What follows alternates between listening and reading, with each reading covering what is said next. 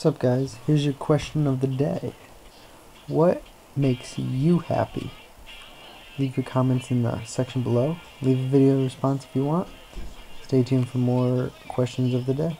Thanks.